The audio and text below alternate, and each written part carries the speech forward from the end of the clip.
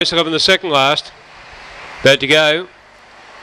Racing. Slow to move out there, by Diamond. Very slow Magic Pirate away fast to the outside there. Is Fat Boys Rule uh, driving up to the inside. D Summer. And D Summer takes the lead and sped away about four or five clear. Fat Boys Rule followed by Beck and Makita up to third. Four lengths away then came by Diamond, Burrell and George. Out at the tail of the field, Ladies Hickey and also Magic Pirate and Karaoke Kemp. It is all D Summer.